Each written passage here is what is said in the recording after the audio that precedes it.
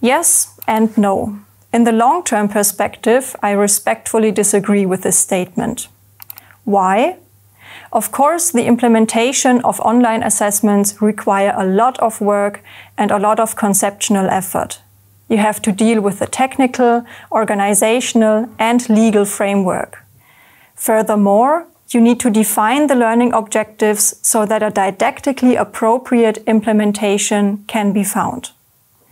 And for high quality assessments, you need enough people to develop, review, and test the tasks and questions. However, once a digital format is established, it is significantly more economical and efficient than the analog format on different levels.